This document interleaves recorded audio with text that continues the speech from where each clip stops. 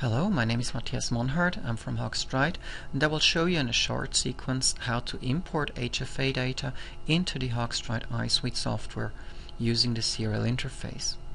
First of all, under Tools, Preferences, Perimetry, Import, you're going to define from which instruments you would like to import the data. In our case, from the Humphrey 700 or 700i series via COM port 1 in the computer with 9600 baud. That's pretty much a standard. And you enable the interface. Now we're moving over to the Humphrey perimeter. And on the Humphrey perimeter we're actually going to file functions transfer tests